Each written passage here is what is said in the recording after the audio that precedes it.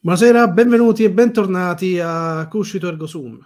Questa sera, in occasione della festa della mamma, quale argomento migliore uh, se non parlare della, delle società matriarcali e della dea madre?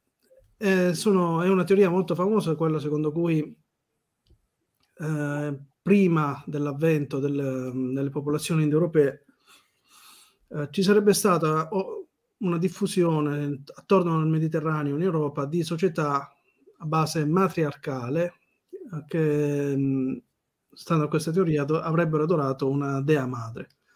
Quanto c'è di vero e quanto no in questa teoria lo scopriremo stasera con uh, Andrea Jacopo Sala, archeologo, che è già stato ospite uh, un paio di anni fa, uh, proprio in questi giorni, su, su, questo canale. Grazie per... buonasera Jacopo e grazie per essere venuto.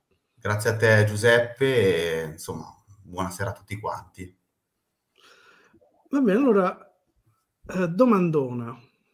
Cosa c'è di vero e cosa no in queste, in queste teorie? In queste... Intanto vogliamo presentarla cosa dice questa teoria? Uh, ho riassunto bene che ci sarebbero state delle società matriarcali che avrebbero adorato un, un'unica dea madre di cui ci sarebbero state trovate tracce un po' in tutta Europa e attorno al Mediterraneo?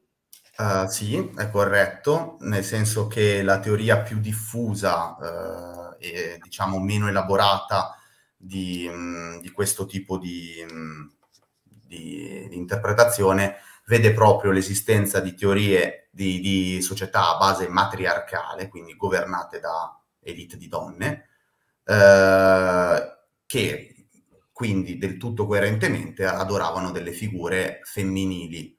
Questa diciamo è quella che viene diffusa comunemente. In realtà eh, la teoria, vedremo, viene, prende le sue... Mh, mm, prende, prende insomma origine da alcuni studi eh, realizzati da Maria Gimbutas in cui diceva cose ben diverse, anche se mh, possiamo dire che era già in, in lungo questa, quest, era in odore, diciamo, di matriarcato anche lei, lei non ha mai parlato di matriarcato, però ah, ha sempre beh. parlato di matril- matrilinearità e per lei, vedremo, le società erano egualitarie, non erano affatto uh, differenziate.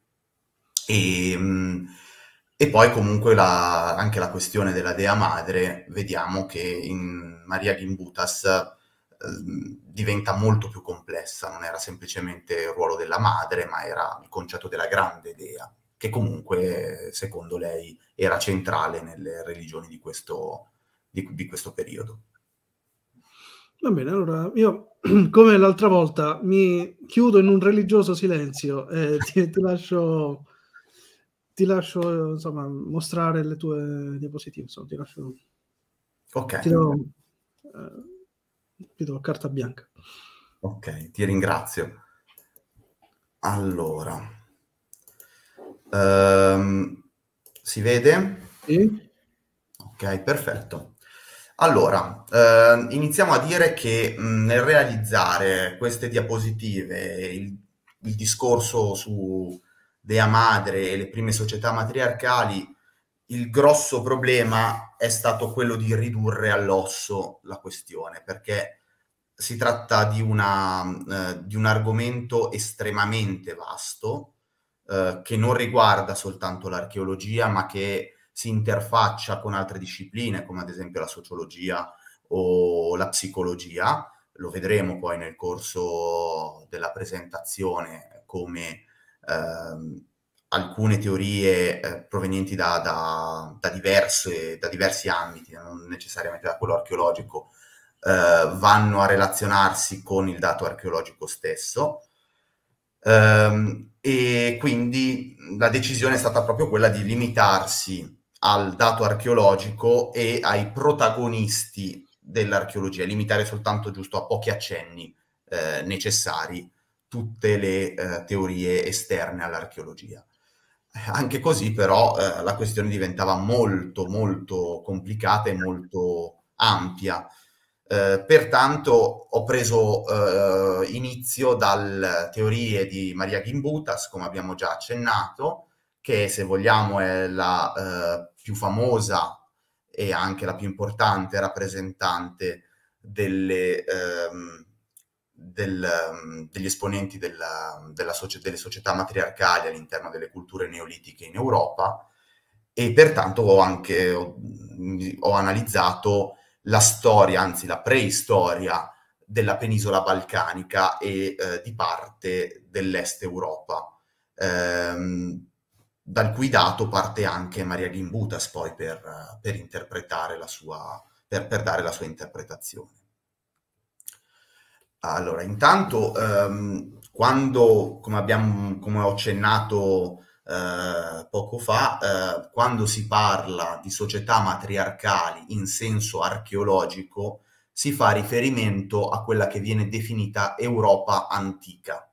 Maria Gimbutas usa questo termine per definire diverse culture neolitiche, eh, diversi, ehm, diversi eh, mh, faces eh, riferiti appunto a un periodo che va dal settimo millennio fino al quinto millennio in Europa, che a suo dire condividono alcune caratteristiche di base, eh, tra cui per esempio eh, una forma di eh, pacifismo all'interno della, della, società e verso anche eh, culture esterne alla propria società, eh, una economia basata prevalentemente sull'agricoltura, un repertorio eh, artistico e iconografico condiviso, tra cui spicca, eh, spiccano chiaramente i riferimenti a questa grande idea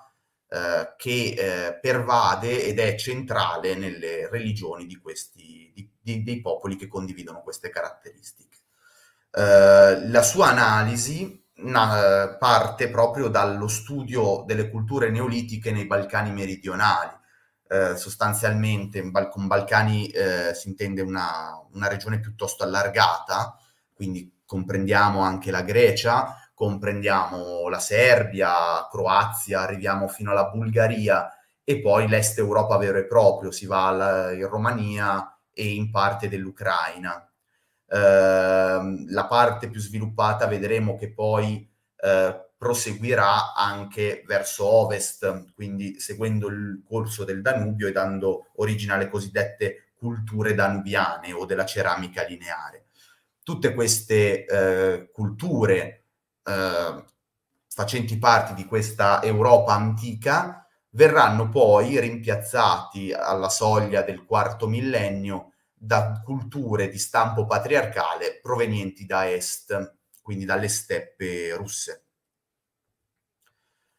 Se parliamo di neolitico, però, non possiamo non tornare al, a quello che, che, fu l'origine del neolitico anche europeo, cioè la zona della mezzaluna fertile. In particolare eh, parliamo di Châtellerault, ne parlammo anche due anni fa, Uh, farò un rapidissimo richiamo proprio per, per necessità di, di, di, richiamare, poi perché Châtellerault è particolarmente interessante uh, come sito, dato che al suo interno comprende eh, caratteristiche che saranno tipiche di quelle dell'Europa antica, o meglio, mh, verranno individuate delle caratteristiche che poi saranno quelle individuate anche nelle, eh, nelle culture europee.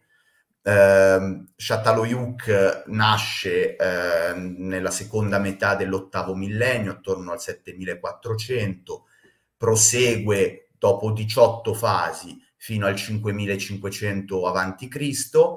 Eh, e comprende alcune delle, delle parti, delle, delle, fasi più antiche eh, della, della, cosiddetta rivoluzione agricola.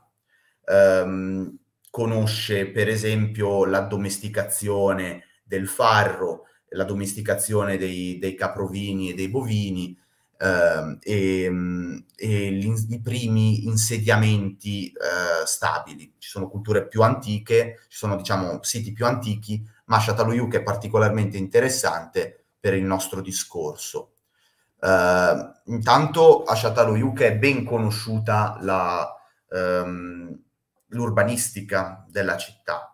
Eh, con la rivoluzione neolitica, eh, oltre alla scoperta del, dell'agricoltura e dell'allevamento, si ha anche il, um, la nascita del concetto di casa, che non è semplicemente una struttura uh, architettonica, ma è un vero e proprio uh, concetto sociale. La casa uh, è una, una, una zona che è polisemantica, diversi significati nella casa vive la famiglia, quindi ha un significato residenziale, ma è anche il luogo dove si produce il cibo e gli utensili, quindi ha anche una funzione industriale. Nella casa vi sono i simboli sacri, quindi ha anche la funzione di un tempio. Eh, nella casa vengono anche sepolti gli antenati, quindi anche un cimitero eh, è il modulo principale di tutte le civiltà neolitiche e le civiltà che hanno conosciuto l'agricoltura. Eh, la casa di Châteauroux è particolarmente interessante proprio perché presenta anche un secondo ambiente, il cosiddetto terrazzo, che è quello superiore dove avveniva la maggior parte delle, delle attività, eh, diciamo, eh, che, sporche, per così dire, come la, macella, la macellazione o la politura di, eh, di strumenti. Interessante anche evidenziare come eh, l'urbanistica stessa di Châteauroux nasce eh, secondo quello che viene definito il modello ad alveare, cioè eh, le case eh, vanno a delimitare degli spazi interni, dei cortili, che sono gli unici ambienti comuni, eh, comune o, oltre, oltre al, ai cortili sono le terrazze, le terrazze servivano anche come ambiente di eh, passaggio da un modulo all'altro ehm, e questo tipo di, ehm, di, cultu- di, di, società, di urbanistica viene messo ehm, in, uh, in relazione con una società piuttosto egualitaria. Non sono presenti infatti delle specializzazioni delle, eh, degli ambienti, lo abbiamo visto per la casa, e pertanto n- non sembra neanche eh, necessario ipotizzare una specializzazione delle persone, dei lavori. La stessa religiosità, che ricordiamo viene eh, eh, identificata all'interno delle stesse case, non, non ci sono templi eh, delle zone specializzate a Châteauroux, o meglio, oggi lo sappiamo, un tempo eh, si riteneva che eh, esistessero del, dei templi, eh, questo è un discorso che approfondiremo dopo. Eh, la, reg- la, religiosità comunque di Châteauroux eh, conosce certamente delle figure femminili, eh, conosce eh, questa che è la cosiddetta Venere di Châteauroux, assisa al trono con ehm, due ehm, protomi di, di, animali addomesticati, che si contrappone a delle eh, religiosità esterne, quindi al di fuori del centro abitato vi erano ancora la frequentazione delle grotte in cui eh, venivano identificate delle, mh, mm, delle, figure legate al mondo selvatico. Eh, si pensa quindi che la religiosità eh, fosse, diciamo, avesse una dicotomia tra domestico e selvatico. Questa è una delle tesi più accreditate, anche se ovviamente molto discussa. Oh, eh, con il passaggio eh, nelle fasi, de, col, insomma, col passaggio alle fasi più, eh, più moderne della, del Neolitico, eh, Châteauroux, così come le altre culture afferenti alla, alla, stessa, alla stessa facies, eh, conosce un incremento notevole di, eh, di popolazione e, di, ehm, e anche di, di tecnologia. Uh, è questo il periodo in cui le culture neolitiche del Medio Oriente iniziano a prendere, uh, a prendere il, il via uh, e, a, e, a, navigare nel, nel Mediterraneo.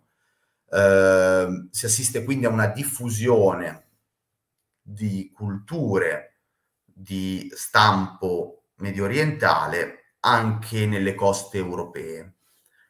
Per quanto ci riguarda, eh, quella illustrata è la grotta di Frankti in, Greca, in Grecia, eh, è una grotta che viene frequentata eh, fin dal, dal, Mesolitico, addirittura eh, si suppone che possa avere avuto delle frequentazioni eh, eh, prima del, dell'Olocene, quindi in, piena, in piene glaciazioni nel Paleolitico, sicuramente è stata però frequentata all'inizio dell'Olocene e che conosce le prime culture di stampo neolitico eh, su, suolo, eh, su suolo balcanico.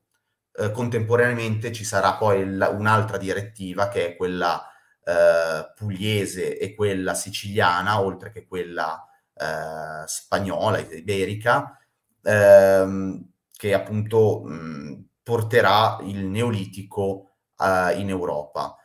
Um, porterà il neolitico proprio perché uh, di, um, di um, migrazione culturale perlomeno si tratta. Il neolitico in Europa non conosce tutte le fasi che possiamo vedere in Medio Oriente, cioè non si assiste a una fase di, intensifi- di raccolta intensificata, di caccia eh, selettiva, tutte fasi che poi porteranno all'allevamento sia, del, ehm, sia del, dei vegetali sia eh, del, degli animali. In questo caso eh, si assiste al neolitico con il, la presenza del cosiddetto pacchetto neolitico, cioè sono già presenti ovocaprini, bovini, è già presente il farro, sono già presenti altri tipi di, ehm, di ehm, di, di, vegeta- di, di piante eh, addomesticate eh, ed è già anche presente una forma sociale che richiama, lo vedremo poi dopo con uh, i primi, uh, i primi mh, villaggi, richiama molto quella del Medio Oriente anche di Çatalhöyük. Nel settimo millennio le prime culture eh, conosciute sono quelle, quella di Sesclo, sempre in Grecia, um, um, si diffonde dal 6850 fino al 4400 a.C., sebbene conosca diverse mutazioni nella, in, questo, in, questo, range cronologico. Uh, quelle che vediamo sono le cosiddette, uh, sulla destra, le mura di Sesclo, eh, molto interessante eh, perché il, um, um, questo tipo di cultura era già conosciuto, cioè il, le, mon- i monumenti, uh, le, le, mura monumentali erano già conosciute per esempio a Gerico in Medio Oriente, uh, in fasi molto antiche, e uh, la fase più antica, che è la zona delineata come B, la vediamo, in fondo è la parte diciamo più eh, arcaica eh, e vede proprio una disposizione delle, delle case, eh, come, vedi, come, si può notare, lungo una direttiva eh, e con dei risparmi interni del, tra, tra i vari edifici. Quindi una, una, disposizione che richiama molto quella, anche quella di Châtellerault. La parte invece, diciamo, mh, di novità eh, è quella legata alla, alla, all'Acropoli, nella zona A. Eh, successivamente, attorno alla fine del settimo millennio, eh, si inizia ad occupare la parte sopraelevata della, della collina di Sesclo, si inizia a monumentalizzare le mura e si inizia un pochino a vedere delle prime differenziazioni. Quindi sostanzialmente quella di Sesclo, conoscerà una fase di eh, discontinuità eh, che vedremo essere propria anche di altre culture all'interno dei Balcani. Ehm, dalla cultura di Sesclo eh, si origina eh, quasi, quasi in contemporanea quella cosiddetta di Starcevo, Coros, Cris e qualcuno ci eh, infila dentro anche Caranovo. In realtà queste sono quattro culture considerate differenti. Nella logica gimbutasiana eh, sono espressioni della stessa Europa antica, ma anche secondo eh, archeologi non, non, necessariamente gimbutasiani, eh, afferiscono sostanzialmente alla stessa, eh, alla stessa espressione culturale, pur con delle differenze regionali sono sostanzialmente quelle, quelle culture che ehm, nascono vicino a corsi d'acqua, eh, lungo il corso del Danubio, soprattutto su zone al confine tra Serbia e Romania, eh, i cosiddetti eh, gli Iron Gates, le, le, cosiddette porte di ferro eh, del Danubio. Ehm, la grossa, diciamo, novità eh, e particolarità di, della, della, cultura, soprattutto di Starscevo, è questa, eh, queste case a forma trapezoidale. Questo è un sito più, ehm, più studiato, il sito di Lepensky Vir. Um, ci sono diverse fasi, anche qui conosce diverse fasi, ma come vediamo tutte le fasi conoscono lo stesso tipo di, eh, di struttura, un'occupazione della, della, collina che dà direttamente sulla, eh, sul fiume Lepensk che eh, viene realizzato in, uh, in, diverse fasi cronologiche ehm, e eh, soprattutto una, un forte richiamo alla, al, al, mare, alla, all'acqua. Quella sulla destra, che da Maria Gimbutas viene definita come la dea pesce, eh, è solo uno degli esempi di richiamo al mondo marino. In realtà, come dire, eh, d'idea è tutto da vedere se si tratta di idea. Sembra molto, sembra interessante il richiamo al, al, al pesce proprio perché eh, la, stessa, la, stessa, economia, la stessa, le, stessa, ehm, le stesse attività del villaggio sono eh, indirizzate verso la pesca, per esempio. Sono presenti diversi ami, eh, sono rappresentati dei pesci molto più, più chiari, eh, che è abbastanza intuibile dalla, dalla vicinanza con, con, un fiume. Eh, e eh, anche la, diciamo, l'aspetto artistico sembra richiamarsi a questo, a questo mondo. Interessante è eh, invece le, le, modalità con cui la ceramica viene decorata. Eh, come vediamo vi sono delle decorazioni eh, spiraleggianti eh, che ehm, anticipano, vedremo, quelle più, ehm, più del Neolitico più recente, eh, le forme sono sostanzialmente delle forme globose, sostanzia- atte a contenere dei liquidi, uh, sono presenti dei piatti ma in minoranza. Uh, quello che si nota però appunto è questa, questo continuo repertorio ehm, ad onde e a spirali che nell'ottica delle, di Maria Gimbutas andava a rappresentare eh, degli attributi femminili, quindi l'ombelico, eh, soprattutto l'ombelico inteso come grembo, ma, grembo materno, eh, la vulva, nel caso ci fossero delle, delle, delle decorazioni a V, o anche i seni. Uh, di figure antropomorfe, in effetti, nel, nelle, nella cultura interessata da quella di Starscevo, Koros Chris, eh, sono, se ne trovano in grande quantità. Eh, tutte queste, qua, queste quattro eh, statuette vengono definite da Maria Gimbutas eh, diverse espressioni della dea. Eh, c'è stata una, una, discussione molta, molto, c'è ancora in realtà, eh, molto accanita su questa interpretazione, un po' perché eh, difficilmente si possono ricondurre anche soltanto a figure femminili, quindi eh, men che meno a figure divine.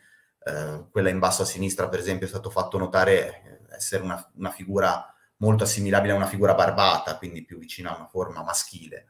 Eh, quella in alto a sinistra rappresenta semplicemente una parte, eh, diciamo, infer- la parte inferiore dell'essere umano, sono, con- con- sono connotate le natiche, e eh, le gambe, la parte superiore non è interessante se non ai fini di una generica caratterizzazione ehm, ed effettivamente le figure antropomorfe che noi notiamo eh, all'interno delle, della cultura di Starscevo sono soprattutto eh, parti del corpo umano.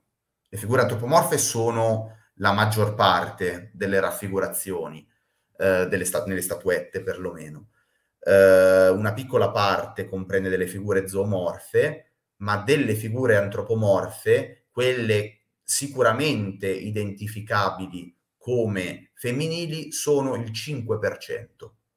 La stragrande maggioranza sono parti del corpo o, e non necessariamente femminili, eh, anche gambe, mani, eh, parti del viso, o figure androgine che non, non sono meglio caratterizzate.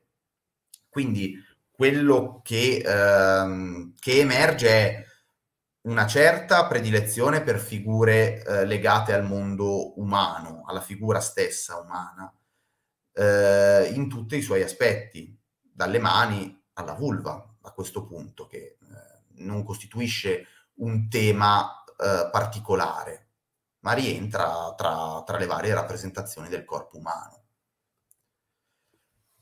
Nella seconda fase del Neolitico, quindi abbiamo visto come, ehm, diciamo, già fin dagli inizi, eh, le, ehm, insomma, non, non, torna moltissimo la narrazione che vede una centralità di una dea, o meglio, mh, viene molto forzata, eh, sia Châtellerault eh, evidenziando con maggior vigore soltanto le parti eh, più legate alla, al mondo femminile, nel mondo eh, della prima parte del Neolitico, quello appunto di Starscevo, eh, che interessa la Serbia, che interessa la Romania, la Bulgaria, eh, le zone anche dell'Ucraina, eh, sono la, l'aspetto femminile, quindi eh, lo studio sulla parte, sulla parte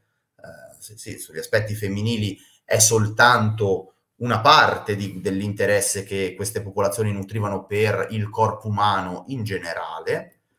Eh, vediamo un po' cosa succede quindi nella seconda parte, cioè quella cosiddetta della cultura della ceramica lineare, che per Maria Gimbutas eh, denota la cultura eh, legata alla cultura dell'Europa antica Tukur, è eh, la massima espressione di queste culture, delle culture neolitiche.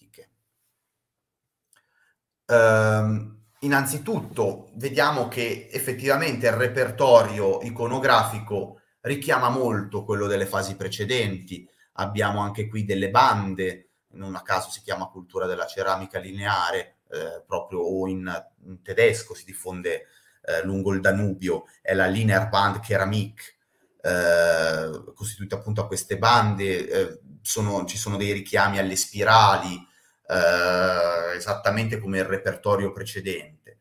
Ehm, vi sono poi delle, delle grosse novità, vedremo dal punto di vista anche sociale, Uh, una tra tutti eh, è quella della presenza di materiali di lusso, quella che vediamo a sinistra è un frammento di ossidiana, quindi è un materiale di importazione sicuramente. Eh, la linear band ceramic si diffonde lungo il Danubio, arriva eh, oltre che nei Balcani, eh, arriva in Austria, in Germania ehm, e mh, mm, interessa eh, soprattutto eh, viene, viene definita fin dal, dai tempi di Gordon Child come cultura danubiana per, per eccellenza, eh, capace però di fare degli scambi anche a, a, a lungo raggio. L'ossidiana arriva dal Mediterraneo, eh, quindi le rotte eh, in cui erano inseriti i villaggi della ceramica, della cultura della ceramica lineare erano quelli del Mediterraneo, che erano estremamente ampli. Ehm, non solo, abbiamo visto nelle culture di Lepensky Vir, eh, nel, nel, sito di Lepensky Vir, eh, nel sito di Sesclo, eh, ma possiamo parlare anche di Vincia che non abbiamo visto, che le, ehm, le case erano sostanzialmente uguali, disposte in maniera se non caotica, comunque con una, una, struttura che richiama, che viene definita cosiddetta struttura d'alveare, nel caso di Sesclo e ancora prima di Châtellerault, e con, quindi una poca ehm, lungimiranza urbanistica, non vi erano delle, spe, delle aree specializzate, quindi sostanzialmente vi era anche poco interesse a delimitare delle aree eh, atte alla specializzazione, salvo appunto i cortili come abbiamo visto. E ehm, in questa seconda parte invece le cose cambiano. Vediamo che vi sono innanzitutto delle case che sono molto più grandi di altre.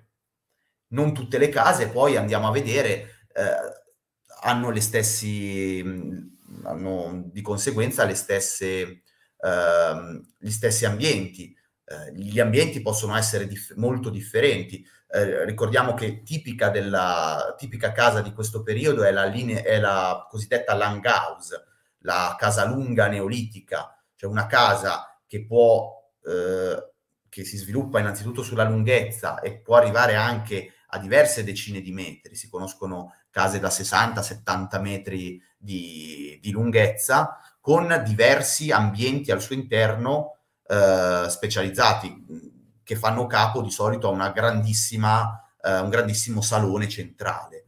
Alcune case invece conoscono due, forse meno, forse una sola, un solo ambiente e eh, in questo caso, per esempio, questa parte che vediamo sopra connotata in maniera diversa rispetto alle buche di palo che delimitano eh, l'ambiente, eh, si tratta di una, di una discarica eh, di ehm, elementi di combustione legati alla cucina, quindi l'ipotesi di questo ambiente è quella che fosse esattamente una cucina viene da pensare che eh, se esistono degli elementi specializzati delle, delle, delle strutture, del, delle, uh, degli ambienti specializzati a fare uh, un determinato tipo di lavoro, beh, esisteranno anche delle persone specializzate a fare quel tipo di lavoro. Detta in parole povere, se ci sono le cucine ci saranno anche i cuochi. Um, se ci sono delle case più piccole e delle case più grandi, ci saranno delle famiglie più, più abbienti e delle famiglie meno abbienti.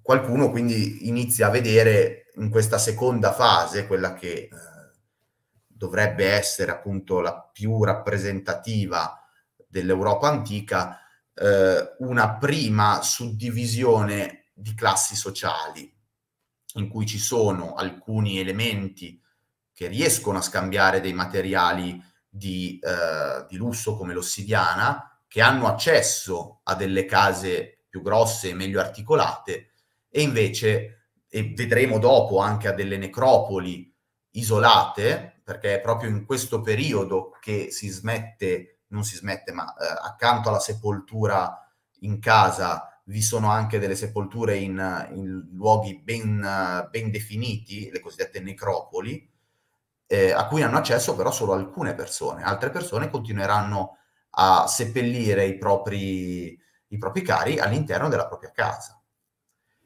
Un altro elemento interessante poi è la costruzione di questi circoli, eh, cosiddetti circoli neolitici per l'appunto, che eh, sembrano delimitare delle zone riservate al culto. Quindi il culto viene continua anche il culto domestico, ma vengono recintate delle aree, secondo alcune anche con delle indicazioni astronomiche, eh, insomma, sono, sono ovviamente eh, delle, delle, teorie eh, accreditate quando sono, sono, elaborate scientificamente e in questo caso sembra, sembrano essere del tutto plausibili eh, in ogni caso sono delle, delle, delle, zone che sembrano non avere altra, altra funzione se non quella di delimitare uno spazio sacro. Quindi sostanzialmente un tempio, un tempio eh, primitivo. E viene da chiedersi quindi come per l'analogia delle cucine e dei cuochi, se ci sono dei templi, forse ci saranno anche dei sacerdoti accanto alla cultura delle, della ceramica lineare, che eh, appunto è, la, eh, è, quella che si diffonde lungo, lungo il Danubio, eh, nella zona che aveva conosciuto il, ehm, la cultura di Starscevo si sviluppa la cosiddetta cultura di Vincia. Eh, la cultura di Vincia, Vincia è una località in Serbia, ehm, è particolarmente interessante perché innanzitutto prosegue la, l'iconografia eh, di Starscevo, eh, vi sono delle terracotte in questo caso che rappresentano anche delle figure femminili, non solo, e non anche qui in, in predominanza. Eh, sono società comunque estremamente eh, sviluppate per i tempi. Eh, Vincia stessa come, come, come, insediamento conosce una, una fortissima, ehm, un fortissimo sviluppo urbano, eh, vengono delimitati addirittura dei quartieri, eh, vi sono appunto anche in questo caso delle, eh, degli spazi riservati al culto, degli spazi specializzati e degli spazi più grossi e più importanti, in posizioni più importanti. Non solo, si assiste a una, ehm, a una, una modalità di costruzione delle case molto singolare eh, è presente anche in altre culture neolitiche, cioè quello del periodicamente di dare fuoco alla casa. Le case crescono su una, uh, su una stratigrafia di, uh, di livelli di bruciatura e sembra essere una bruciatura controllata perché mh, sono, non sono bruciature che hanno devastato completamente il villaggio eh, sono ben riconoscibili i roghi, i roghi diciamo, sia quelli, quelli non controllati. Eh, questo può avere diverse spiegazioni. Una semplice spiegazione sanitaria, nel senso che periodicamente il legno eh, è preda di, ehm, di, elementi che ne alterano, insomma, che, eh, di tarli e di muffe che quindi eh, rendono l'ambiente eh, casalingo un ambiente poco salubre, eh, oppure potrebbe anche indicare il passaggio eh, da, una, da, un rango all'altro o da una famiglia all'altra. Eh, quindi mh, si può supporre anche una certa mobilità sociale e quindi una non uguaglianza all'interno degli uomini del, delle culture neolitiche. Eh, questa cultura complessa è anche dimostrata, l'esistenza di una, comunque di una cultura complessa è dimostrata anche dall'esistenza di questi amuleti eh, e del ritrovamento delle cosiddette, eh, statu- delle cosiddette statuette di, delle cosiddette tavolette di Tartaria, che erano delle tavolette contenenti tutta una serie di segni eh, interpretati come paleoscrittura, poi vediamo appunto un esempio su un amuleto, che tra l'altro vanno a, ad arricchire eh, il repertorio iconografico anche dei vasi eh, e a volte anche delle statue. Quindi qualcuno l'ha interpretata come una forma di paleoscrittura. Eh, una di queste fu Maria Gimbutas. Nel linguaggio della Dea eh, prende esplicitamente posizione eh, dicendo che quelle di Tartaria si tratta di una forma primitiva di scrittura che presuppone quindi una forma di eh, intelligenza, mettiamo così, sociale e di eh, sviluppo, di forte sviluppo, compatibile secondo lei con una mancanza di gerarchia. Uh, quello che succede a, Vinca, a Vincia uh, succede anche uh, nel nord della, della Romania e dell'Ucraina, sempre zone interessate dal diffondersi della cultura di Starscevo.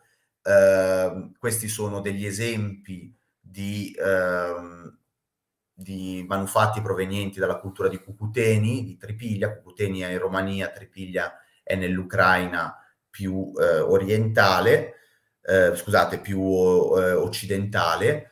Um, anche qui vediamo il continuare un repertorio iconografico molto, eh, eh, molto antico, abbiamo visto provenire addirittura da Sesclo, eh, e eh, arricchirsi, diventare ancora più ehm, barocco è stato definito, nel senso che aveva un certo gusto per, il, per occupare tutti gli spazi, possibili all'interno dei vasi e delle, eh, e delle statuette.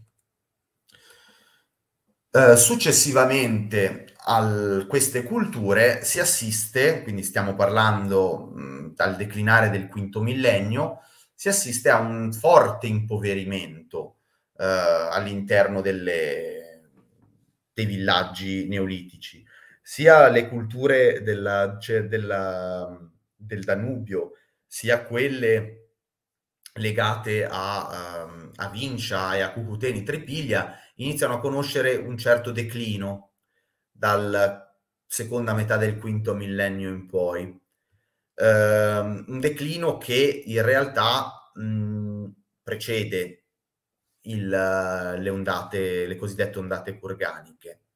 Uh, Gimbutas uh, e Mallory uh, distinguono sostanzialmente, pongono la fine del, del mondo dell'Europa antica eh, nel momento in cui eh, culture patriarcali provenienti dall'est vanno a insediarsi e a distruggere i villaggi. Secondo Gimbutas i, um, i, gli incendi delle case del Neolitico vanno proprio a, uh, a indicare questo, a indicare un atto violento, eh, il che ci, ci dovremmo chiedere il perché questi, questi incendi iniziano un millennio prima delle, delle, delle invasioni kurganiche.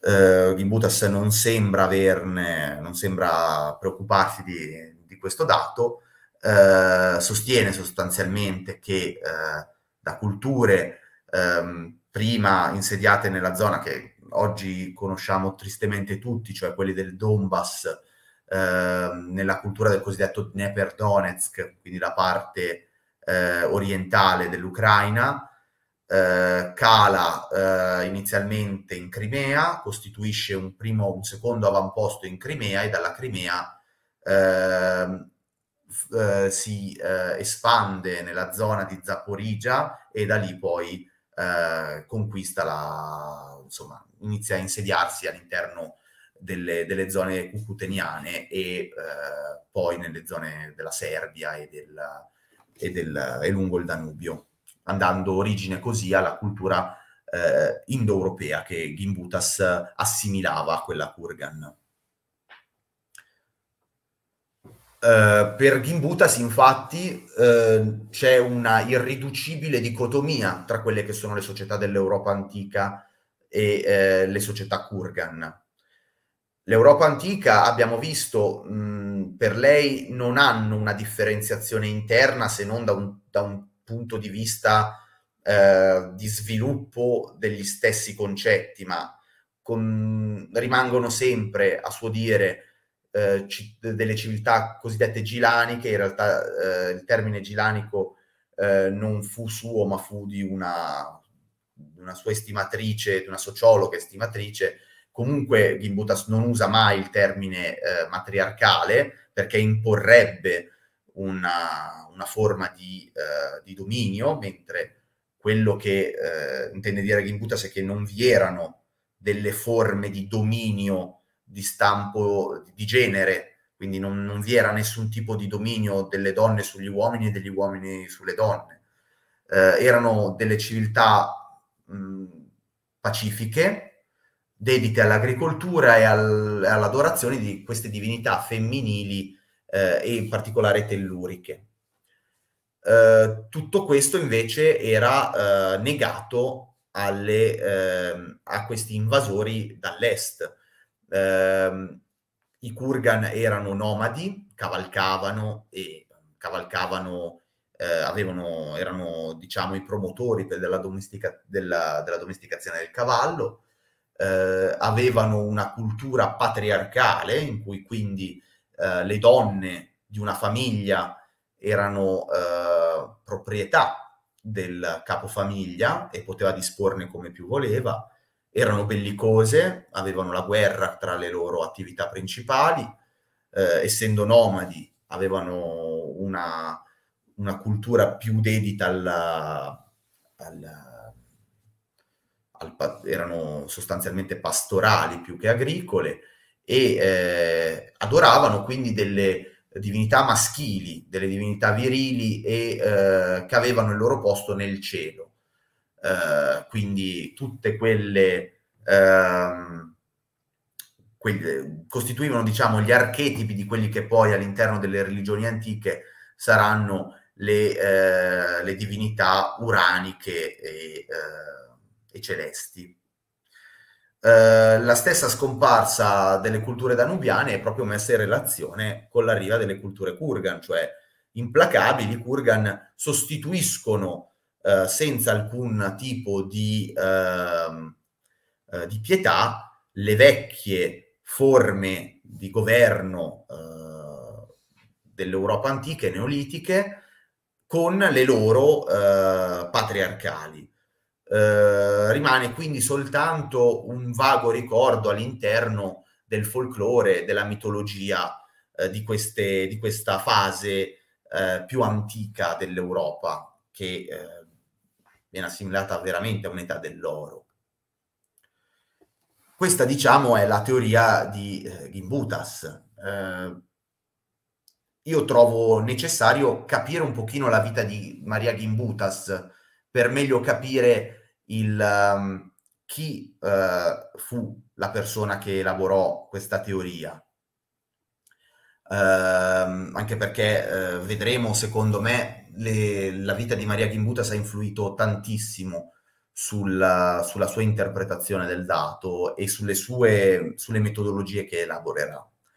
Uh, innanzitutto, uh, Gimbutas è, nasce a Vilnius, in Lituania, uh, da una famiglia che era vicina a posizioni indipendentiste e nazionaliste. Il padre era uh, un intellettuale che uh, propendeva per l'indipendenza e per la riunificazione della, della Lituania. Ai tempi la, la, Lituania era sotto il dominio polacco per metà, l'altra metà invece era indipendente e ehm, Maria Gimbutas eh, conosce un'infanzia eh, piena di, ehm, di intellettuali eh, lituani. Lei stessa dice che quando era nata eh, il 50% delle, delle, delle, persone che conosceva si dichiarava ancora pagana, talmente era, ehm, era intrisa di cultura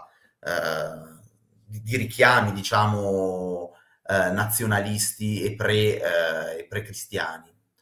Uh, nel 31 uh, tra- la famiglia si trasferisce a Kaunas, che era la capitale della Lituania libera, uh, continua gli studi fino alla morte del padre.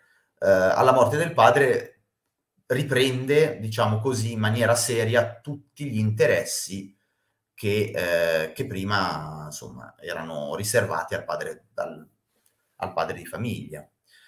Ehm, nel 1939 eh, la Lituania viene annessa dalla, dall'URSS stalinista. Eh, L'URSS stalinista non, non, ammetteva, aveva come, come eh, ideologia di Stato il materialismo dialettico, non, non erano ammesse forme di espressione nazionale, era fortemente avversa a qualsiasi forma di nazionalismo, eh, che non fosse quello, quello, sovietico ovviamente.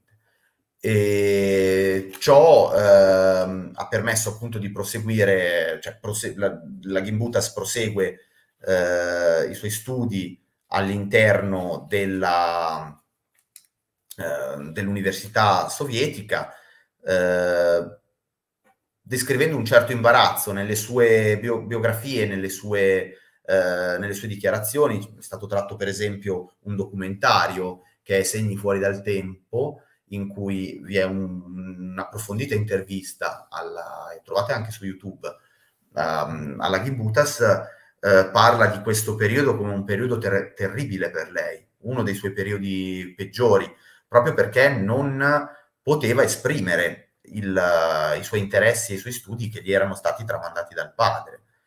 Eh, non sembra strano quindi che nel 41, quando vi è l'occupazione della Lituania da parte della Germania, la Gimbutas si sente più tranquilla. Gimbutas ecco, di quei tempi era eh, molto vicino a tematiche nazionaliste e mh, ricordiamo che la Germania nel 41 eh, si parla di Germania nazista. Eh, discute la sua tesi di laurea sui rituali funerari eh, della Lituania nella prima età del ferro, eh, si sposa e dà eh, alla luce la sua prima figlia. E nel 44 però eh, i sovietici tornano in, in Lituania. Gimbutas decisa, è decisa a fuggire, eh, dice che scappava con la sua tesi nella mano destra e sua figlia nella mano sinistra e nient'altro, si rifugia a Vienna dove prosegue ancora gli studi, ad Innsbruck e infine a Baviera, in Baviera. Riesce alla fine della guerra ad ottenere un dottorato in archeologia e storia delle, delle religioni eh, e fino al 49 rimane in Germania eh, prendendo appunto, insomma, vincendo un assegno di ricerca all'Università di Heidelberg e poi a Monaco.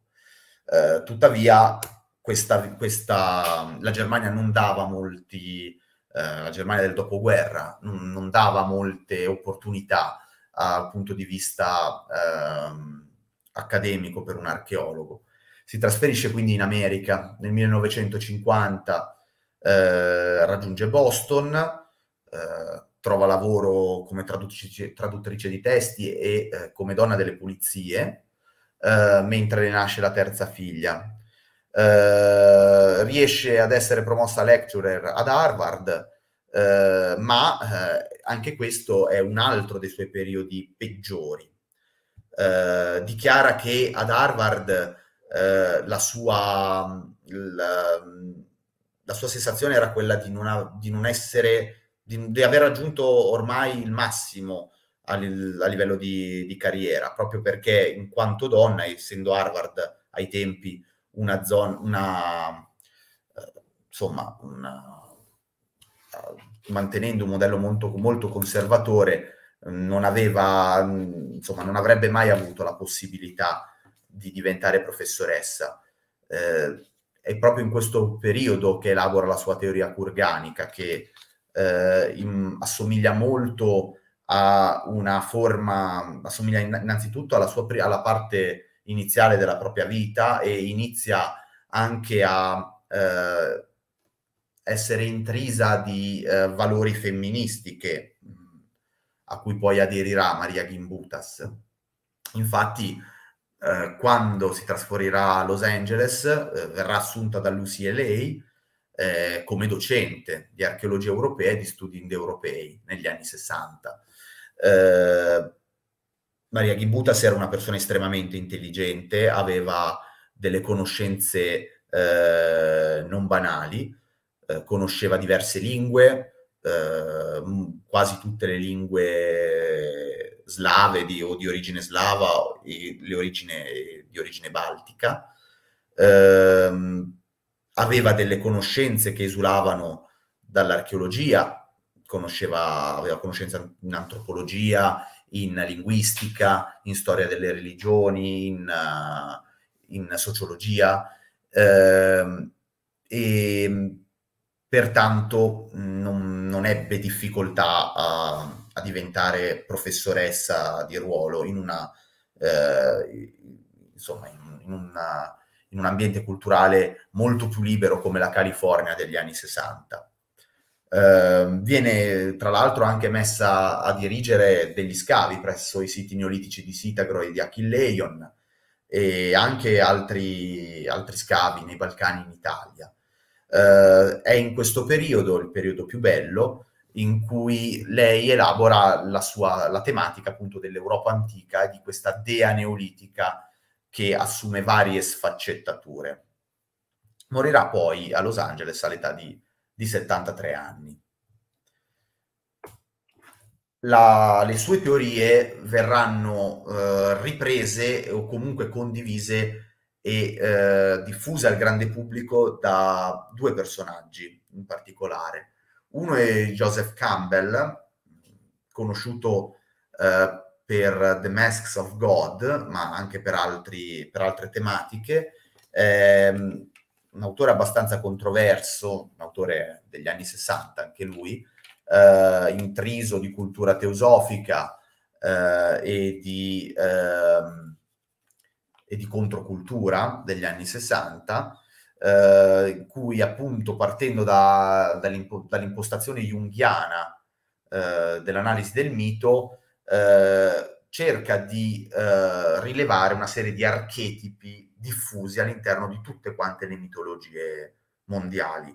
In particolare per quella primitiva eh, rileva questo prima di, o meglio in contemporanea con la Gimbutas, eh, rileva proprio la, la, presenza di questa dea eh, madre che lui identifica come dea madre, quindi una dea generatrice, a differenza della Gimbutas, che, in cui appunto la dea era una dea da, con diverse sfaccettature. Abbiamo visto un esempio prima di una dea pesce, eh, ma vi sono anche delle dee legate ai concetti di morte, ai concetti eh, di a dei concetti più vicini a quelli casalinghi, eh, quindi mm, più vicini a forme di, eh, di, di mh, familiari, eh, mentre Campbell ne dà una, una, interpretazione legata proprio al concetto di fertilità e di rigenerazione.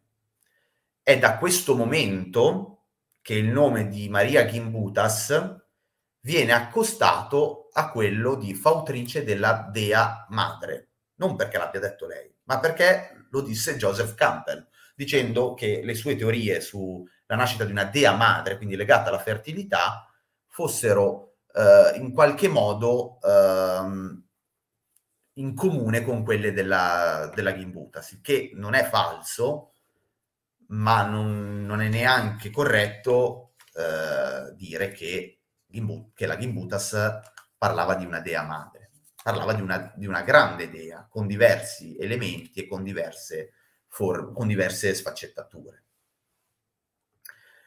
L'altro personaggio a cui si deve diciamo, la diffusione delle teorie di Gimbutas eh, fu Johann Marler.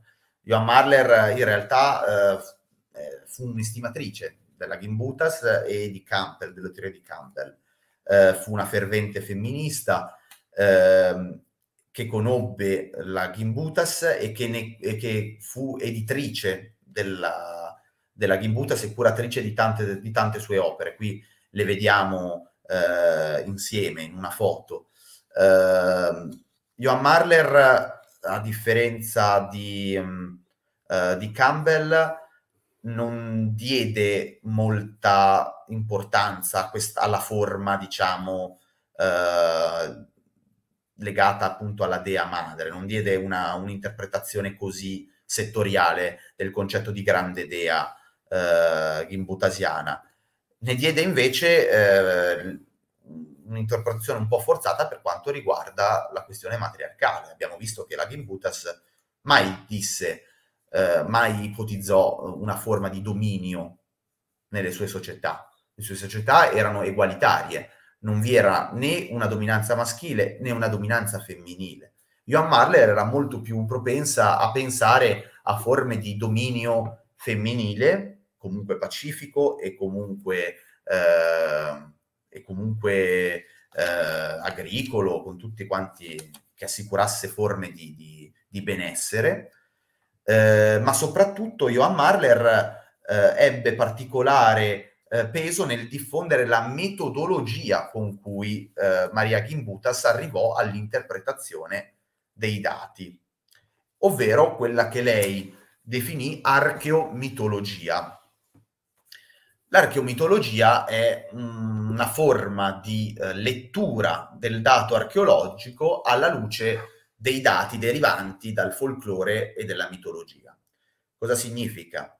Significa che prima studio la, eh, il folklore, la storia del, eh, diciamo, le, le, espressioni culturali eh, ricavate dal, dall'antropologia, eh, lo studio della storia delle religioni, dopodiché piego il dato archeologico alla lettura del, di, di, questi dati.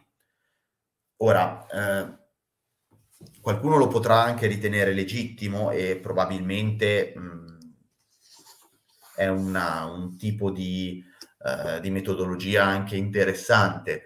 Sicuramente non è una forma di metodologia uh, archeologica. Uh, con questa metodologia lei riesce infatti a definire questa Europa antica una società pacifica, matrilineare eh, e ogilanica, ed egualitaria. Quindi queste sono le tre caratteristiche, oltre alla, al fatto di essere agricola, su quello nessuno ci piove, non ci piove, eh, ma questi tre elementi lei li deriva proprio dall'analisi del, utilizzando le, le, metodologie dell'archeomitologia che eh, inventa lei. Uh, penso che la critica, uh, la critica più puntuale eh, all'archeo, all'archeomitologia fu fatta da Ionux. Eh, dichiarò appunto che sostanzialmente eh, quello che mh, il folklore e, eh, la, e, lo studio della religione non, eh, non contemplava eh, semplicemente andava escluso. Quindi se, c'era, se c'erano dei materiali archeologici che andavano in, conflitto con, era, con quello che era il dato folcloristico e, ehm, e antropologico, semplicemente non faceva parte di quella cultura. E eh, in questo caso iniziamo a spiegarci il perché, nonostante le statuette eh, figurative non riguardassero affatto per la maggior parte delle forme eh, del, degli aspetti femminili, ma eh, abbiamo visto solo il 5% delle, delle statuette antropomorfe erano chiaramente identificabili con elementi femminili, tutto il resto erano eh, abbastanza neutri, mani, gambe. Eh, però quel 5% era in accordo con i suoi studi di archeomitologia e di, eh, di folklore, soprattutto lituano quindi la sua parte, diciamo così, più nazionalista, la sua fase nazionalista. Eh, non mi addentrerò nei suoi studi eh, sul folklore antropologici, però sono, eh, secondo le nuove metodologie, sono degli studi abbastanza, eh, come dire, eh, errati dal punto di vista metodologico e eh, alla stessa maniera, quindi essendo errato il, il quadro interpretativo, è errato anche, la, essendo errata quindi la griglia con cui lei legge il dato archeologico, chiaramente anche le teorie che lei elabora sul dato archeologico risentono di questi errori. Eh, dopodiché, appunto, chiediamoci a questo punto se veramente società, le società neolitiche erano pacifiche. Abbiamo visto che ehm, la cultura più rappresentativa, secondo la Gimbutas, era quella della ceramica lineare, le culture danubiane. Le culture danubiane avevano eh, delle, abbiamo visto degli sviluppi molto elevati, eh, avevano delle ottime, de, de, de, del, del, una, un artigianato estremamente sviluppato, ma avevano anche dei punti che non sono proprio concordanti con una visione pacifica della, delle società.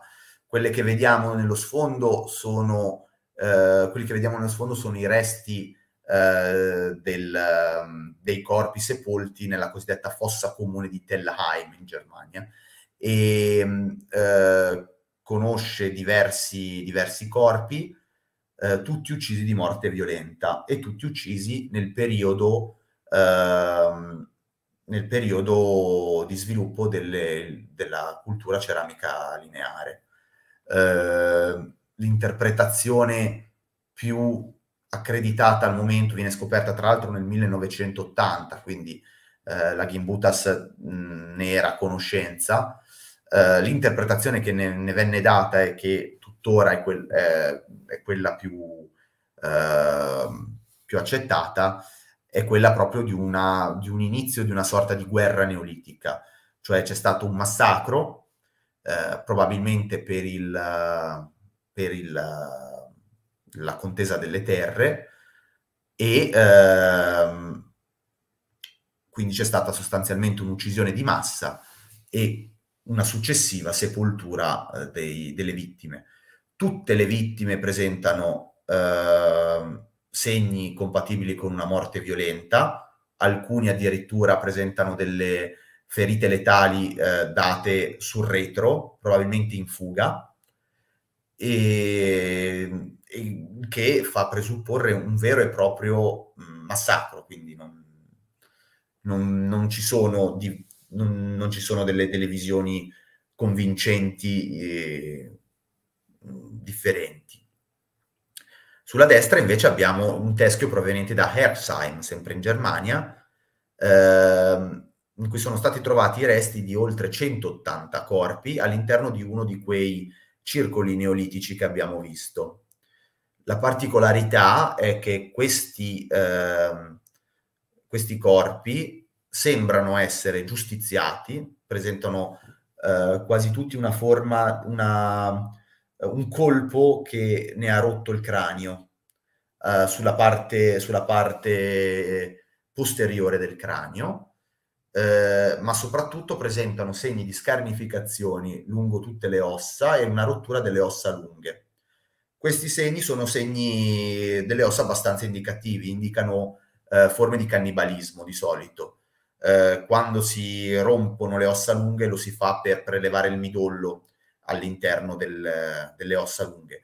Eh, e stessa, lo stesso colpo dietro la nuca eh, viene, è stato ricostruito mh, da anatomopatologi eh, che eh, potesse essere appunto frutto di, di, di una forma di, di, esecuzione dal basso verso l'alto, tra l'altro. Ehm, si pensa quindi a sacrifici umani eh, con annessa pratica del cannibalismo. Anche qui siamo in pieno sviluppo della, eh, della della cultura della ceramica lineare. Eh, non si sa se, gli, se le vittime furono appartenenti alla, ai villaggi, al villaggio di Arsheim, un villaggio che, che poi ne ha decretato la fine, o se eh, fossero dei prigionieri, insomma, in ogni caso questa, questo quadro si configura molto, si configura come un quadro di una, di una società comunque dedita a forme di violenza, sia rituale, sia, sia effettivo, forme di guerra neolitica. L'altra grossa domanda a cui dobbiamo rispondere è, era una società eh, matrilineare? Quelli rappresentati in, in foto sono eh, due archeologi che legano il loro nome a Chataluyuk, cioè il, l'origine sostanzialmente di tutte quante le, le, culture matriarcali, secondo la teoria gimbutasiana. Eh, il primo a, a, eseguire, a dirigere gli scavi fu appunto Mellart sulla destra, eh, che eh, lo diresse sostanzialmente eh, per un decennio, eh, trovò numerose prove tra cui pitture murali, tra cui, eh, tra cui statuette, che eh, facevano propendere quasi senza possibilità di, di cioè senza, se, senza, poter contraddire il, il dato, che eh, questa società fosse una società puramente matriarcale.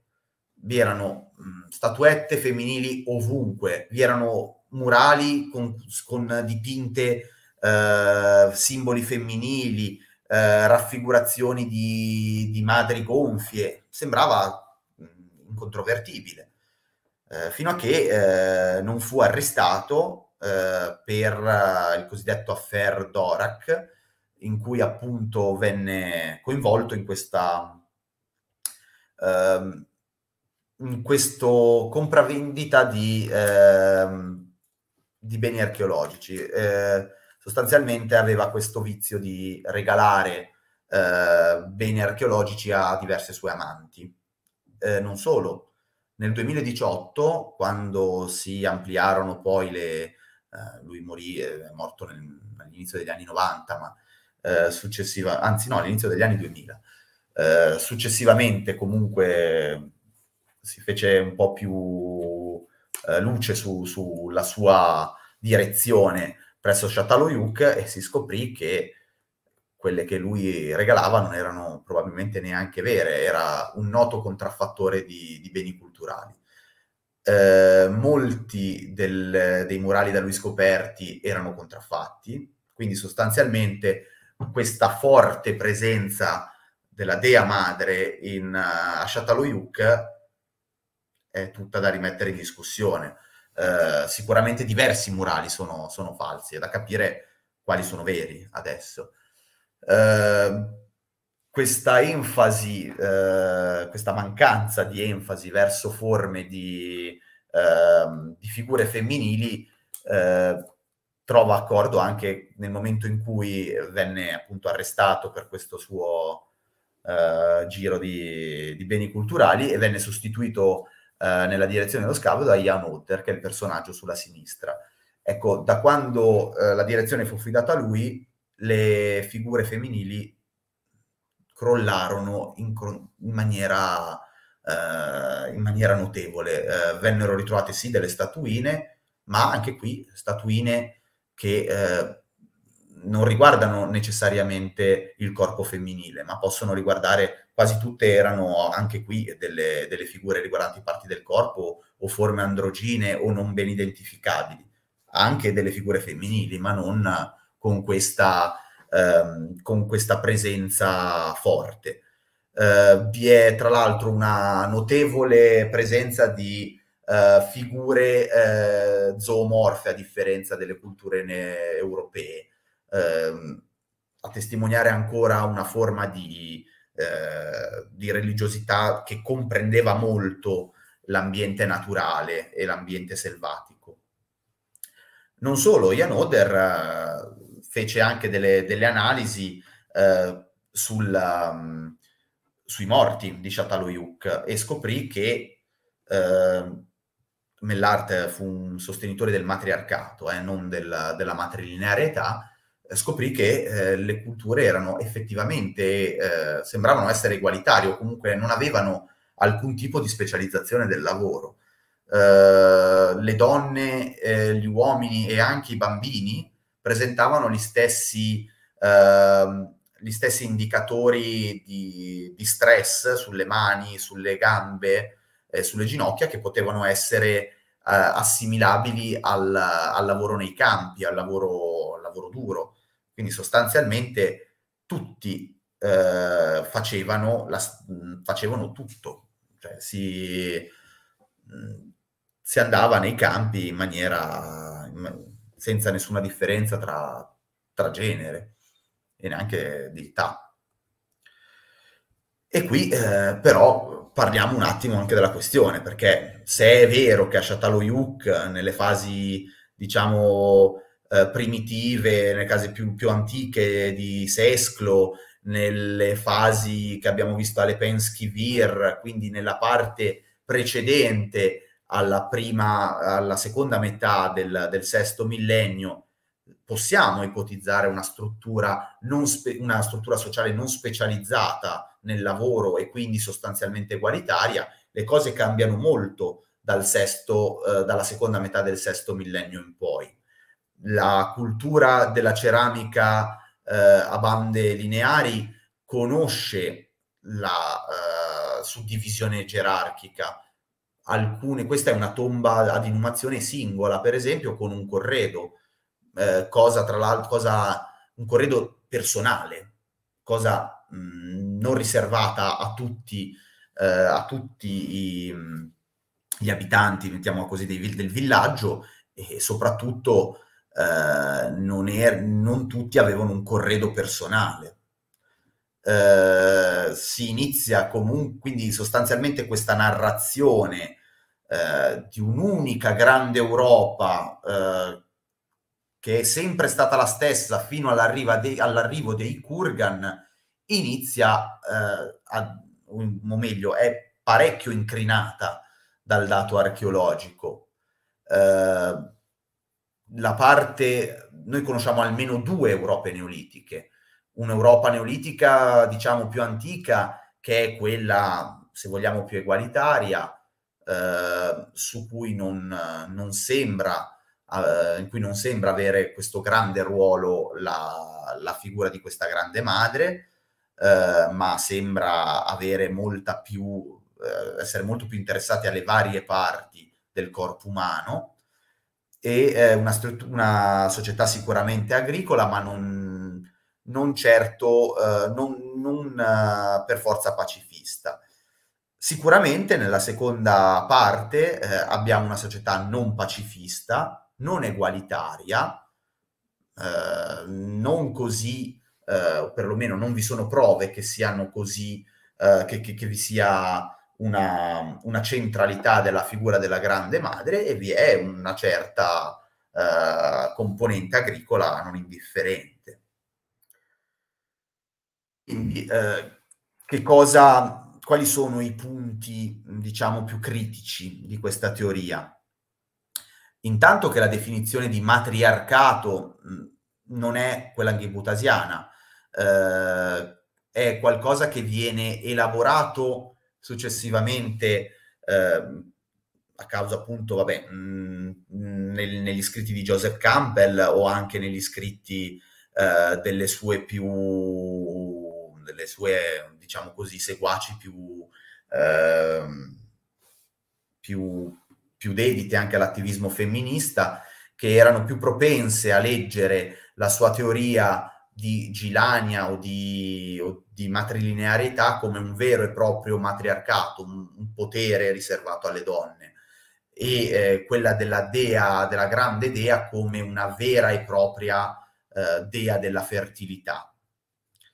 Uh, quindi sostanzialmente bisogna capire qual è uh, la definizione della Gimbutas e qual è la definizione dei seguaci della Gimbutas, perché le due cose non sempre corrispondono. Uh, nonostante questo, anche la metodologia adottata dalla, dalla Gimbutas presenta diversi problemi. Eh, la sua proposta metodologica, cioè l'archeomitologia, è una proposta che eh, risente di diversi bias eh, di conferma eh, legati a forme di, di eh, al fatto che, che, si parte da una griglia precostru- precostruita, cioè si lega il dato archeologico e si piega il dato archeologico al dato eh, folcloristico che, mh, come è stato raccolto da, da Maria Gimbutas, non, uh, tra, tra, le altre cose non è neanche, uh, uh, insomma, non ha neanche delle, delle valenze antropologiche, scientifiche molto solide. inoltre i nuovi dati, o comunque i dati emersi nel corso, nel corso del, degli anni, non confortano questa te- teoria di, di, di un'Europa antica pacifica, eh, egualitaria e, eh, e matrilineare.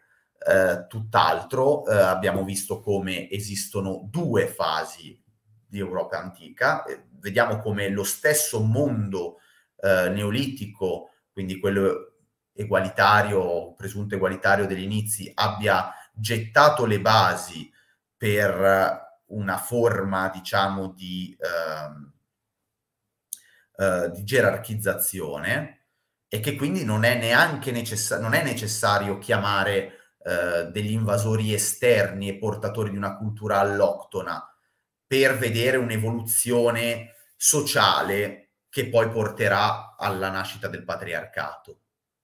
Potrebbero sì aver sicuramente contribuito a questa direzione, mm, ma possiamo benissimo dire che eh, le stesse società si indirizzavano verso quel tipo di, di, eh, di, forma, di forma, familiare e forma, e forma culturale. Eh, concludo con questa immagine della ricostruzione di Sesclo nella seconda, metà, nella seconda fase, quella fase dopo sesto, la metà del sesto millennio.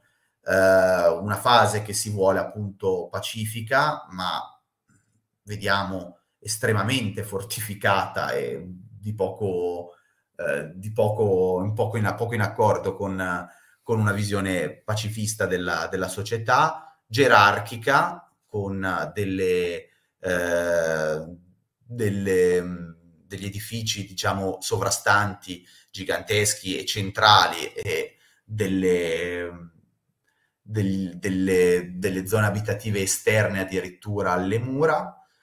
Eh, e eh, per quanto riguarda la parte, diciamo, matrilineare, esattamente come nei dati, non ne vediamo alcun tipo di, eh, di indizio.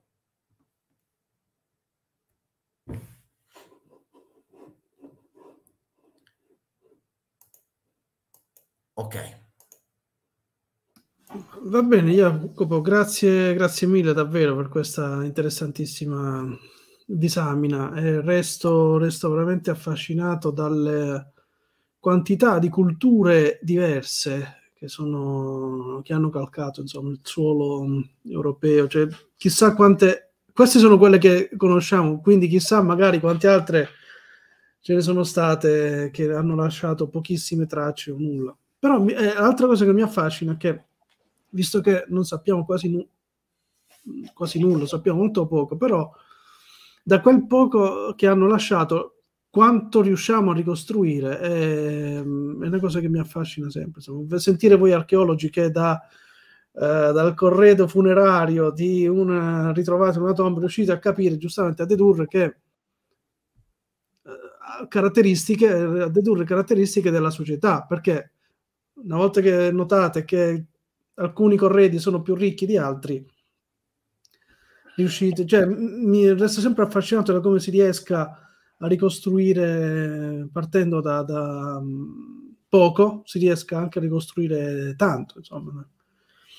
Bisogna eh, stare attenti a non fare i cosiddetti voli pindarici. Eh, certo. Un caso ehm, fu, è proprio quello legato alla, al matriarcato e alle teorie del, delle società matriarcali eh, diciamo che le metodologie, cioè gli strumenti, eh, la cassetta degli attrezzi del, del, dell'archeologo in quel caso aveva pochi strumenti e li aveva abbastanza spuntati, quindi non era riuscito ad avere a dare un'interpretazione coerente.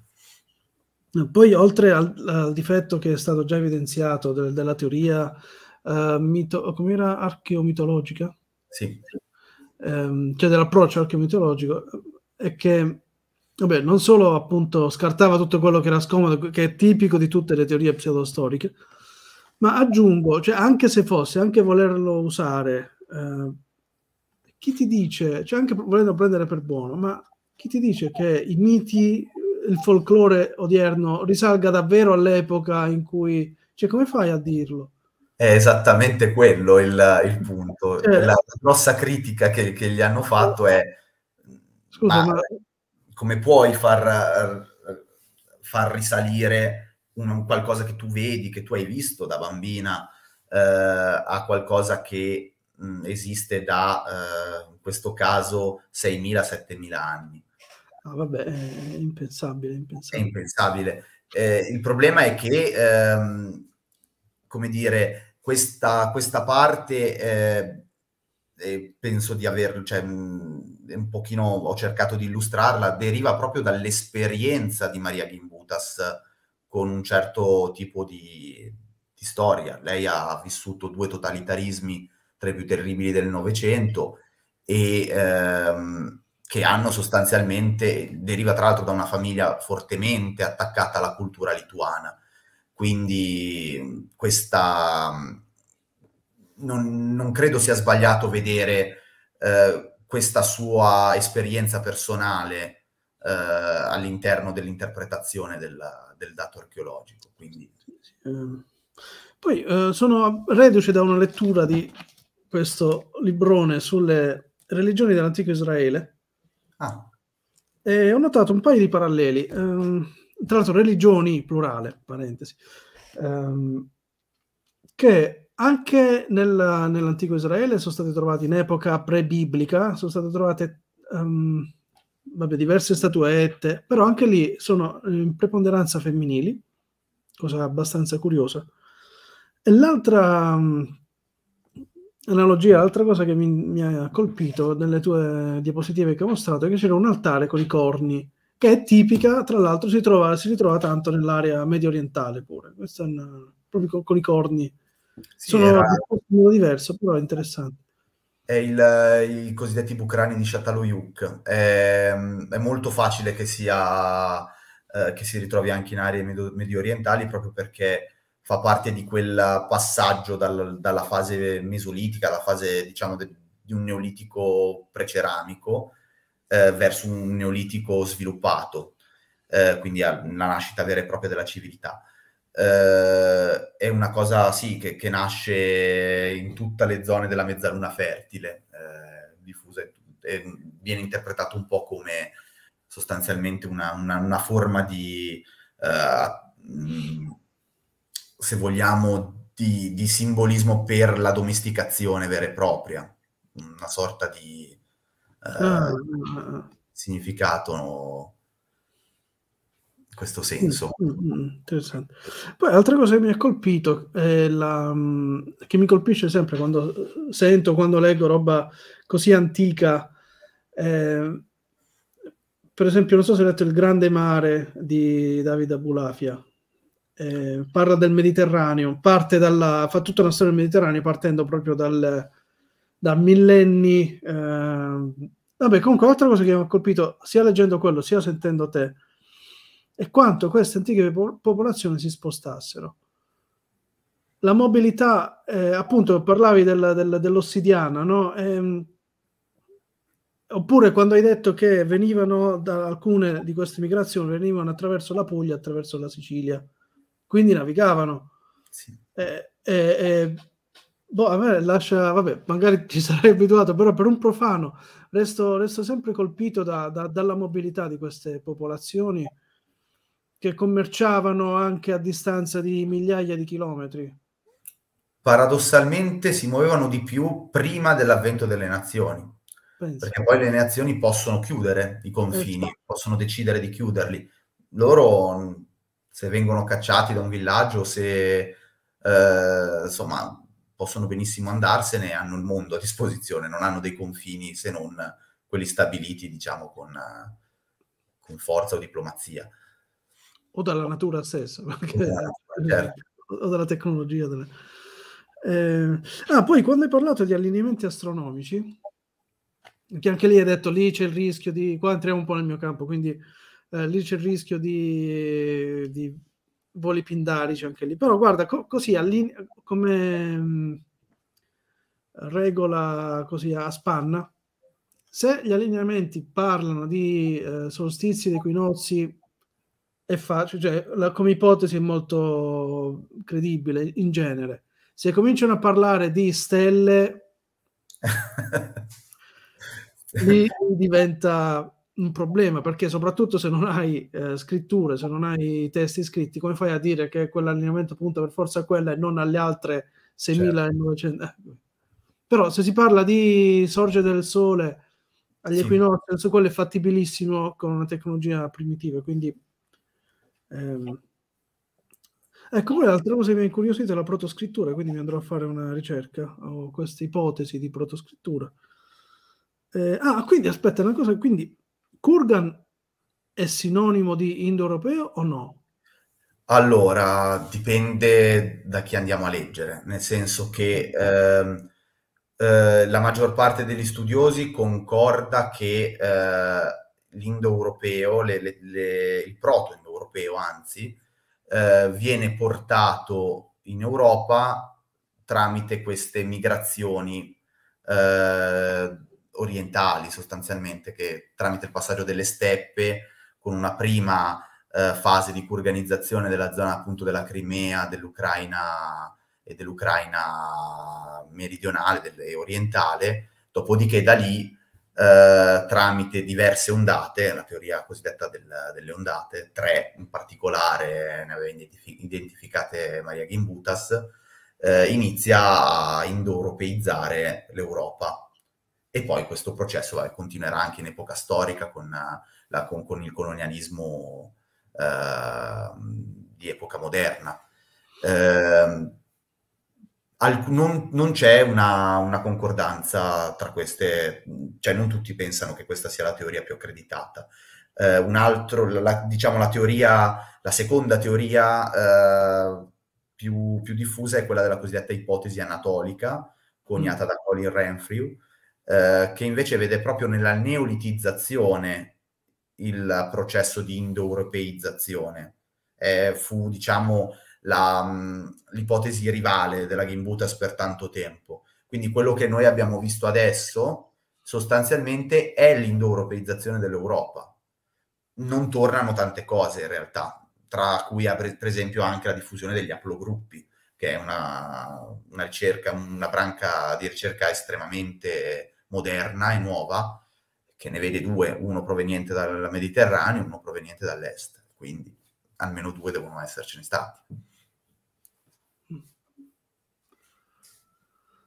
Va bene, allora vediamo di recuperare qualche domanda. Una hai appena risposto perché uno chiedeva appunto sul, sul rapporto, da, cioè se la teoria sulla, della provenienza anatolica l'avesse inventata la Gibutas o se l'avesse presa da qualcun altro, quindi hai appena detto che l'ha presa da qualcun altro. E allora, vediamo un po'. Buonasera a tutti, intanto. Ah, ecco, questo è interessante. Gimbutas ha mai cambiato idea o rivisto le sue posizioni?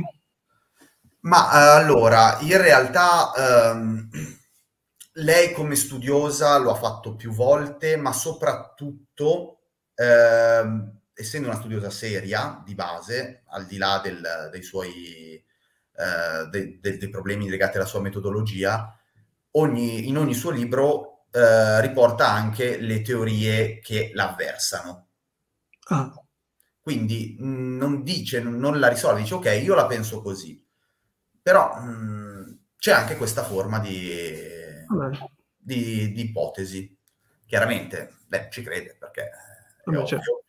però come studiosa seria fa questo tipo di, di, lavoro. È una cosa che non fanno, per esempio, molti dei, dei cosiddetti seguaci della Gimbutas, che poi sono seguaci delle teorie di Campbell e di, eh, insomma, e di tutta, tutta quella... Um, quella forma, diciamo, di femminismo ideologico che prende spunto dalla Gimbutas per portare, eh, per portare delle, delle, delle, grosse fondamenta ideologiche alla, alla, loro lotta, alla loro lotta politica. Ok, sì, quindi diventano più realisti del re, come si dice, cioè sono... Esatto sono così, sono, dicono, sostengono cose che la Gimbutas non sosteneva. Allora, cosa ne pensi della um, cosiddetta ipotesi anatolica, cioè quella che invece di Kurgan propone come culla delle culture proto-europee appunto l'odierna Turchia? E, eh, allora, io sono più propenso a, all'ipotesi kurganica perché mi torna di più nel senso che abbiamo visto, vabbè, al di là del, dello studio degli haplogruppi, eh, torna anche con uh, determinati studi uh, uh, linguistici. Villar, per esempio, ne fa nel, nel suo libro Gli Indoeuropei, illustra alcune delle sue, insomma, lui è, anche lui è un, un kurganico e illustra come gli tornano i conti. Anche lì bisogna vedere un attimo come, quanto è piegare il dato e, e quanto invece è interpretare il dato in maniera corretta, però al momento eh, è quello che fa tornare più cose in, diverse, in diversi ambiti. Eh, quello linguistico, abbiamo detto, quello genetico e anche quello, diciamo, eh, archeologico, perché poi eh, ci sono tutta una serie di eh, stratificazioni che non per forza in maniera violenta, ma vedono un, un forte distacco in epoca poi neolitica tra le culture neolitiche e le culture, quelle che poi saranno del, del, le culture dell'età del bronzo. Quindi questo distacco c'è, non per forza è avvenuto in maniera violenta, io credo che sia che eh, i, i, cosiddetti invasori orientali si siano insinuati su, su, culture che erano già in declino per diversi motivi, eh, uno, uno su tutti potrebbe essere l'estrema, eh, l'estremo sfruttamento del, del, del, territorio, che quindi non garantiva più una, una fonte di,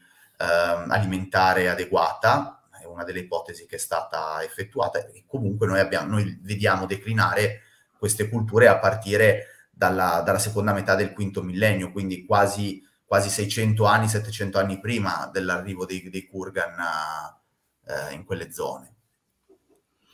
Bene, poi c'era una domanda che nel frattempo ho silenziato perché stava scritta tipo solo sette volte, eh, visto che stavo intasando la chat, eh, però chiedeva se il culto delle divinità si sia sviluppato da quello animista. Io tendenzialmente direi di no, perché è una vecchia classificazione fatta da, una, da un antropologo eh, che ormai è notoriamente e tristemente famoso, diventa, è, è, tanto celebre al di fuori del mondo del, dell'antropologia quanto tristemente famoso all'interno dell'antropologia. Eh, mi riferisco a Fraser, che fece questa divisione famigerata tra religione animistica che si sarebbero evolute nelle religioni eh, classiche e poi quelle eh, poi scienza. Quindi faceva questa, questa um, questa progressione, credendo di vederla anche lì come Campbell, credendo di vederla dappertutto, e invece sì, ci si è accorti che insomma, le cose non stanno così. Quindi rispondo alla domanda. Se, se vuoi aggiungere qualcosa, però questo è il mio... no, no, no. Eh, poi che altro? Uh, no, allora, questo eh, quello era, mi pare Kruger, il cattivo di Highlander. No, no, era Kurgan, era proprio era Kurgan. Kurgan. Ah, ok. Sì, sì. Ah, ok, vedi? Allora, ora, paradossalmente, il monoteismo ha portato a una svalutazione della donna. L'ebraismo con arzigogoli talmudici è stata data una matrilinearità. Ma non lo so. Ma io parlerei di ruoli diversi.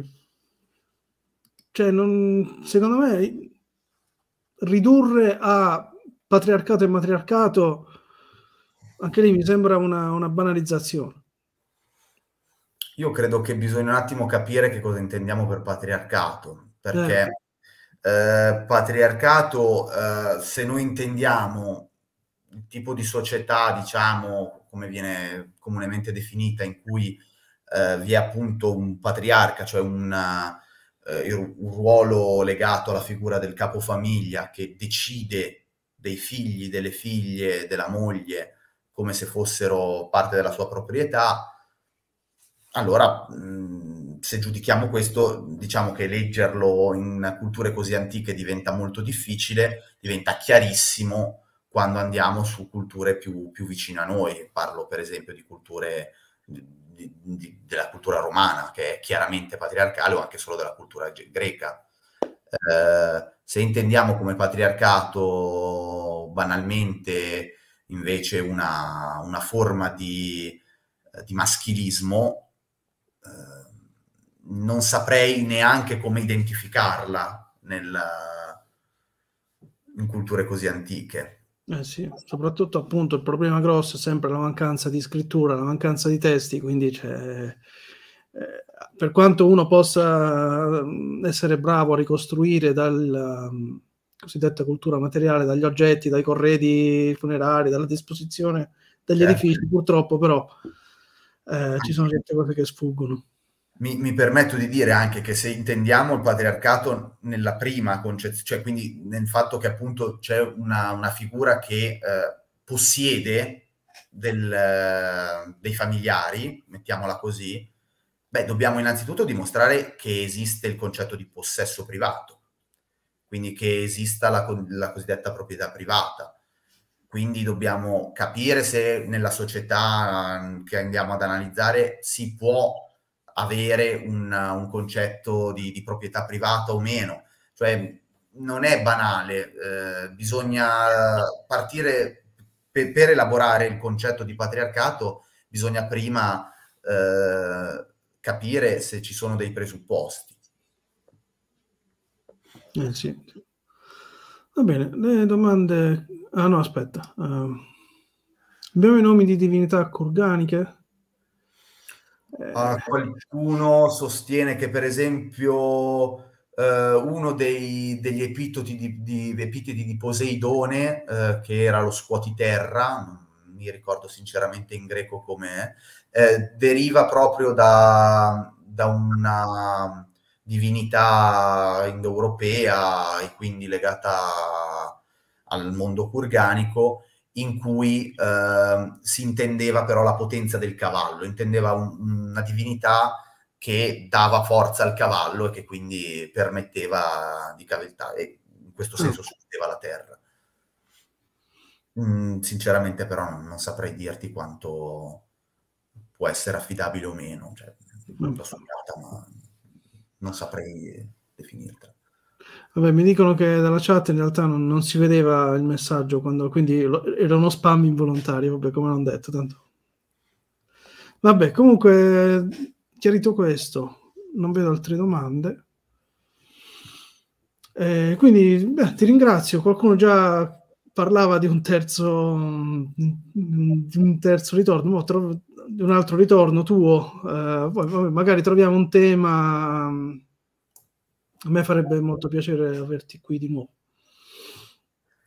Eh, anche a me, a me ha fatto molto piacere. Tempo permettendo, torno molto volentieri una terza volta. Decidiamo poi di cosa vogliamo parlare, tanto temi ce ne sono a volontà. Allora, eh, quindi quale fosse la teoria più condivisa nell'antropologia? Se ci sono delle cause per la nascita, eh, qua mi sa che si va eh, nell'antropologia, non è il mio campo, quindi No, ma neanche io me la sento di... no, ecco, no, è una domanda un po' complessa, anche perché le divinità nascono ben prima della scrittura e quindi ci ritroviamo sempre solito, davanti al solito problema. Tra l'altro, quando troviamo una statuetta, chi l'ha detto che sia per forza una divinità? Tra, tra parentesi. Ecco, ecco esatto. problema non da poco problema non da poco, perché poi vede, per esempio vedevo alcune di queste statuette che sono state trovate, vabbè alcune erano chiaramente in contesti di culto, c'era proprio tutto il luogo cult- culto, c'era l'altare, c'era, va bene, c'erano anche le iscrizioni, per fortuna mia, parliamo di epoche più recenti, quindi la scrittura già c'era, però di altre che sono state trovate fuori contesto, fuori, io mi chiedevo, ma chi ha detto che è una divinità? Non è che ha fatto una figura di, di donna così, una o di un animale. Che che non ho, che non ho eh, sottolineato è che la stragrande maggioranza delle figure antropomorfe che sono state ritrovate eh, a Châtellerault, ma mi pare anche a Vincia, sicuramente a Châtellerault, sono state ritrovate nella cosiddetta spazzatura. Ecco. Eh, sono state, eh, sono assieme a resti di pasti, resti insomma, di costruzione, a scarti di costruzione, cose di questo tipo. Quindi vuol dire che seppure noi riteniamo avessero una, una funzione religiosa, come sembra essere, cioè, io non immagino che persone buttino via una divinità assieme ai resti del pasto. Mi sembra un po', un po' strano. Quindi magari avevano delle funzioni religiose come poteva averlo un ex voto. Eh, Infatti. No? O, rappresenta... eh, sì, sì, sì, sì. o rappresentavano il defunto, quindi magari facevano un pasto insieme alla statuetta del defunto e facevano, boh, la, but- la butto così. Magari la parte importante era proprio la parte della creazione stessa dell'oggetto. Era lì, era lì che era il sentimento religioso, nella creazione artistica. Eh, non lo sappiamo. Eh, diventa difficile però sostenere che fossero divinità. No, Vedo altre domande. Aspetta, questo non so se, se l'aspetto delle veneri paleolitiche rispettava in qualche misura le forme delle donne, ma non lo so, non so le ossa, è quello il... Eh, infatti, tra l'altro vero. Se sopravviene una religione diversa vincente, eh, vince. La, la, risposta è già nella domanda. Va bene, eh, va bene. Allora, di nuovo grazie. Ci sentiamo eventualmente quando ci verrà un prossimo tema da trattare. Speriamo di non aspettare altri due anni come, la tra- come no, Speriamo di no. Eh, grazie ancora, grazie a tutti e alla prossima.